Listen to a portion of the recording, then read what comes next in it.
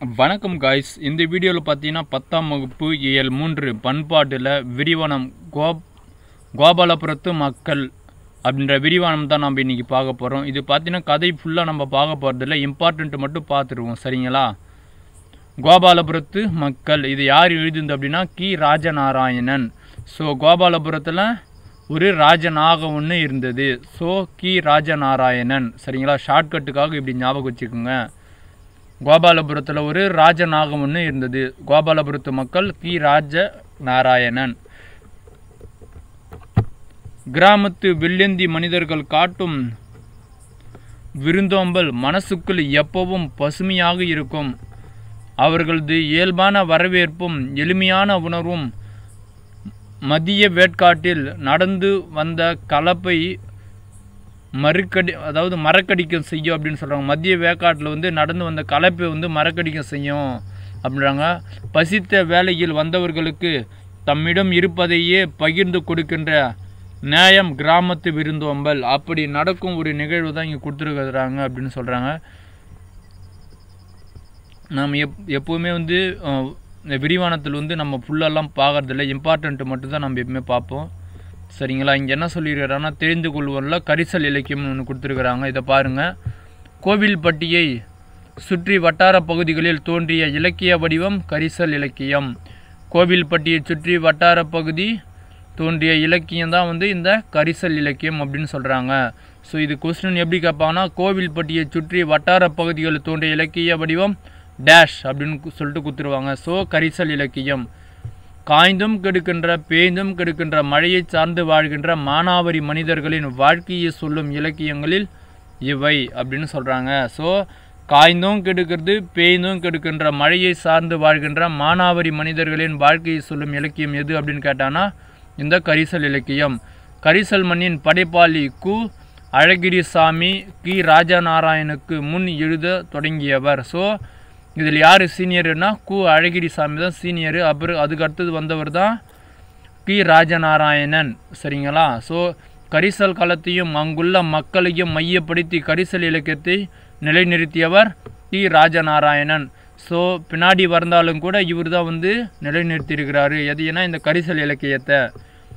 கரிசல் களத்தையும் அங்குள்ள மக்களையும் மையப்படுத்தி கரிசல் இலக்கியத்தை நிலைநிறுத்தியவர் கி. ராஜநாராயணன்.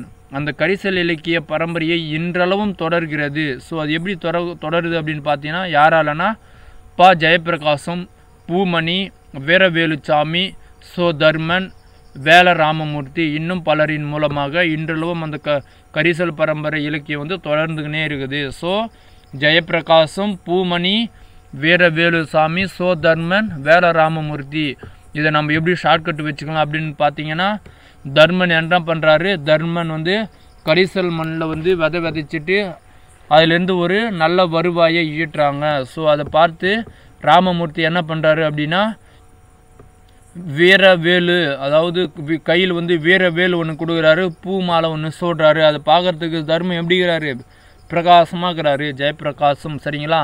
தர்மன் வந்து பார்த்தீங்கன்னா கரிசல் மண்ணில் வந்து விதை விதைச்சி அதன் அதிலிருந்து வருவாய் நல்ல வருவாய் ஈட்டினாரு. அதை பார்த்த வேல ராமமூர்த்தி என்ன பண்ணுறாரு அப்படின்னா ஒரு வேற வேல் ஒன்று கையில் கொடுத்துட்டு பூமணி அதாவது பூ மாலை ஒன்று சொல்கிறாரு அப்போ தர்மம் எப்படி இருக்கிறாரு பார்க்கறதுக்கு அப்படின்னு பார்த்தா பிரகாசமாக இருக்கிறாரு. ஸோ ஜெயபிரகாசம் ஜெயபிரகாசம் பூமணி வீர வேலுசாமி சோ தர்மன் வேல ராமமூர்த்தி. சரிங்களா? அதுக்கு அடுத்தது பார்த்தீங்கன்னா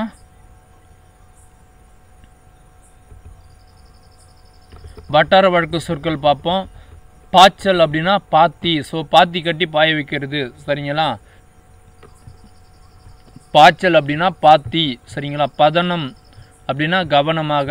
பதனம்னா கவனமாக. பத்திரமா பார்த்துக்குங்க. அப்படின்னா பதனம் அப்படின்னா கவனமாக. நீத்து பாகம் அப்படின்றது மேல் கஞ்சி. ஸோ இந்த சோற்று கஞ்சியெல்லாம் பார்த்தீங்கன்னா கரைச்சி குடிக்கும்போது மேலே வந்து தண்ணியாக இருக்கும். அடியில் எல்லாம் போயிட்டு இந்த சோறு இதெல்லாம் பார்த்தீங்கன்னா அடியில் நின்று போயிடும். ஸோ அது அந்த மேல் பாகத்துக்கு தான் வந்து மேல் கஞ்சி அப்படின்னு நம்ம சொல்கிறோம் அது என்ன? நீத்து பாக்கம் அப்படின்னு சொல்கிறாங்க சரிங்களா? அதுக்கடுத்தது வந்து கடிச்சு குடித்தல் அப்படின்னா வாயை வைத்து குடித்தல். ஸோ கடிச்சுக்கின்னு குடிக்காதீங்க. தண்ணி தூக்கி குடி அப்படின்னு கிராமப்புறத்தில் சொல்லுவாங்க. ஸோ அதுதான். கடிச்சு குடித்தல்னா வாய் வைத்து குடித்தல். மகுலி அப்படின்னா சோற்று கஞ்சி. மகுலி அப்படின்னா சோற்று கஞ்சி. வரத்துக்காரனா புதியவன் புதியவன் வரத்துக்காரன்றது புதியவன். சடைத்து புலி அப்படின்னு கேட்டால் சலிப்பு சடைச்சு போச்சுவா அப்படின்றது சலிப்பு சரிங்களா? சடைத்த புளித்து அப்படின்னா சடைத்து புளித்துனா புளிச்சு போச்சு அப்படின்னா சலிப்பு. அழுக்கும் அப்படின்றது வந்து அழுத்தம் அல்லது அணுக்கம் தான் அழுத்தம் அழுக்கும் அப்படின்னு சொல்கிறாங்க தொலைவட்டையில் அப்படின்னா தொலைவில். தொலைவட்டையில்னா தொலைவில் சரிங்களா? அதுக்கடுத்து இந்த நூல்வழி சொல்லியிருக்கிறாங்க. நூல்வழி பார்ப்போம். கோபால கிராமம் என்னும் புதினத்தை தொடர்ந்து எழுதப்பட்ட கதையை கோபாலபுரத்து மக்கள். ஆசிரியர் தன் சொந்த ஊரான இடைசேவான் மக்களின் இடைசேவல் மக்களின் வாழ்வியல் காட்சிகளுடன் கற்பனையும் புகுத்தி இந்நூலை படைத்துள்ளார். ஆசிரியர் பெயர் என்ன அப்படின்னு கேட்டிங்கன்னா கி. ராஜநாராயணன்.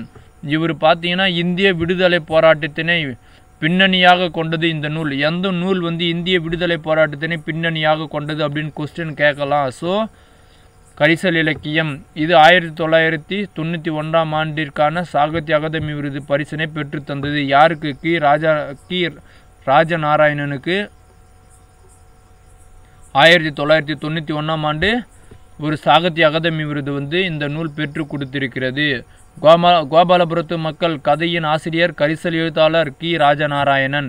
இருபதிற்கும் மேற்பட்ட நூல்களை படைத்துள்ள இவரின் கதைகள் ஒரு கதை சொல்லின் கதை போக்கில் அமைந்திருக்கும். அது எல்லாமே பார்த்தீங்கன்னா ஒரு கதையினுடைய கதை போக்கில் தான் அமைந்திருக்கும். இவரின் கதைகள் அனைத்தும் கி. ராஜநாராயணன் கதைகள் என்னும் தலைப்பில் தொகுப்பாக வெளிவந்துள்ளன. இவர் கரிசல் வட்டார சொல்லகராதி ஒன்றை உருவாக்கினார். யார் வந்து கரிசல் கரிசல் வட்டார சொல்லு அகராதி யார் உருவாக்கினது அப்படின்னு கேட்டாங்கன்னா கி. ராஜநாராயணன். இவர் தொடங்கிய வட்டார மரபு வாய்மொழி புனைக்கதைகள் கரிசல் இலக்கியம் என்று அழைக்கப்படுகின்றன. வட்டார மொழி சாரி இவர் தொடங்கிய வட்டார மரபு வாய்மொழி புனைக்கதைகள் கரிசல் இலக்கியம் என்று அழைக்கப்படுகிறது. ஸோ கரிசல் இலக்கியத்தினுடைய மற்றொரு பெயர் எப்படின்னு கேட்டாங்கன்னா வட்டார மரபு வாய்மொழி புனைக்கதைகள் சரிங்களா? எழுத்துலகில் இவர் வந்து கி. ராஜநாராயணன் கூப்பிட மாட்டாங்க கீரா அப்படின்னு கூப்பிடுவாங்களாம் சரிங்களா? முன் தோண்டி மூட்டக்குடியில் என்ன சொல்கிறாங்க கரங்கு இசை விழாவின் உரந்தை. கரங்கு இசை விழாவின் உரந்தை அப்படின்னு சொல்கிறது உறையூர் பற்றி சொல்லியிருக்கிறாங்க. எது சொல்லுது? அகனானூரில் சொல்லியிருக்கிறாங்க. அந்த உரந்தை எங்கே இருக்குதுன்னா திருச்சி மாவட்டத்தில் இருக்குது. சரிங்களா? ஓகே காய்ஸ் அதாவது இதில் நம்ம இம்பார்ட்டண்ட்டாக பார்க்க வேண்டியது என்ன அப்படின்னா கரிசல் வட்டார சொல்லகதி யார் உருவாக்குது யார் அப்படின்னு கேட்டோன்னா கி. ராஜநாராயணன். ஆயிரத்தி தொள்ளாயிரத்தி தொண்ணூற்றி ஒன்றில் வந்து சாகித்ய அகாதமி விருது பெற்றது வந்து பார்த்தீங்கன்னா கரிசல் இலக்கியம் யாருக்கு? கி. ராஜநாராயணனுக்கு வாங்கி கொடுத்துருக்குது. அதுக்கடுத்தது பார்த்தீங்கன்னா இல்லை அதாவது இந்திய விடுதலை போராட்டத்தினை பின்னணியாக கொண்ட நூல் எது அப்படின்னு கேட்டோன்னா இந்த கரிசல் இலக்கியம். அப்புறம் இந்த வட்டார வழக்கு சொற்களை வந்து நம்மள ஒரு- ஒரு முறை பார்த்தவே போதும் அது. ஏன்னா நம்ம வந்து இந்த தமிழ்நாட்டில் நிறைய பேர் வந்து கிராமப்புறத்தில் தான் இருக்கிறாங்க. ஸோ அதனால் அது யூஸ்ஃபுல்லாக அது ஈஸியாக இருக்கும் நம்மளுக்கு. அதுக்கடுத்து வந்து கோவில்பட்டியை சுற்றி வட்டார பகுதிகளில் தோன்றிய இலக்கிய வடிவம் எது அப்படின்னு கேட்டாங்கன்னா கரிசல் இலக்கியம். சரிங்களா? ஸோ அழகிரியும் கி. ராஜநாராயணும் ரெண்டு பேர் தான் வந்து இந்த கரிசல் இலக்கியம் வந்து ஸ்டார்டிங்கில் தொடங் அதாவது இது வரைக்கும் வந்து தொடங்கினாங்க. ஆனால் வந்து கி ராஜா நாராயணன் பின்னாடி வந்தாலும் கூட அவர் தான் வந்து ச கரிசல் இலக்கியத்தை நிலைநிறுத்தினார்னு சொல்கிறாங்க அதுக்கடுத்தது வந்து தர்மன் வந்து கரிசல் மண்ணில் நல்லா விதைய வித- விதைச்சு நல்ல ஒரு முதலீடு ஈட்டதுனால வேலை வேல ராமமூர்த்தி என்ன பண்ணுறாரு ஒரு வேலு வீர வேலு ஒன்று தர்மனுடைய கையில் கொடுத்துட்டு மூ பூ மாலையை அணிஞ்சிட்டாரு. இப்போ தர்மன் பார்க்கறது எப்படி இருக்கிறாரு? பிரகாசமாக இருக்கிறாரு. ஜெயப்பிரகாசம். அவ்வளோதான் பா அவ்வளோதான் காய்ஸ் இந்த வீடியோ உங்களுக்கு பிடிச்சிருக்கு நான் நம்புகிறேன் இந்த வீடியோ உங்களுக்கு பிடிச்சதுன்னா மறக்காமல் லைக் பண்ணுங்கள் உங்களுடைய ஃப்ரெண்ட்ஸுக்கு ஷேர் பண்ணுங்கள் இந்த வீடியோ பற்றின தகவலை கீழே கமெண்ட் பண்ணுங்கள் மேலும் நம்மளுடைய சேனல் இது வரைக்கும் சப்ஸ்கிரைப் பண்ணாதவங்க தயவுசெய்து சப்ஸ்கிரைப் பண்ணுங்கள் பக்கத்தில் இருக்கக்கூடிய நோட்டிஃபிகேஷன் சிம்பிளும் ஒரு கிளிக் பண்ணிக்கோங்க. இந்த வீடியோவை பார்த்ததற்கு மிக்க நன்றி ஃப்ரெண்ட்ஸ்